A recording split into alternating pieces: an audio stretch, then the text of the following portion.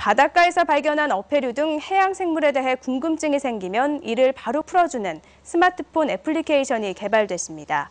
해양수산부는 바닷가에서 해양 생물을 발견해 이를 사진을 찍어 올리면 앱 사용자들 간에 해양 생물에 대한 지식을 공유하도록 마린통이라는 앱을 개발했습니다.